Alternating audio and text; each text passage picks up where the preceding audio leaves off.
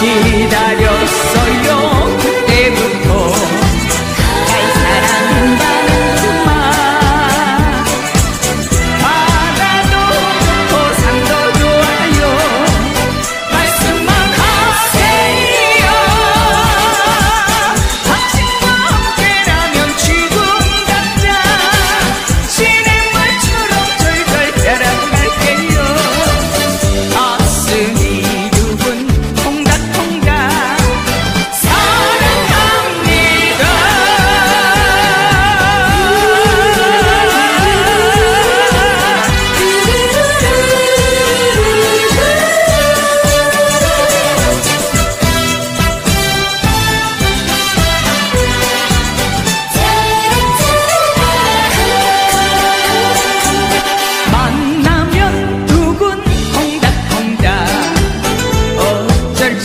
모르네.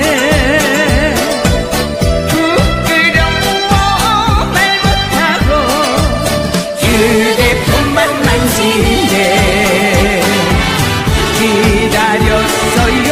그때부터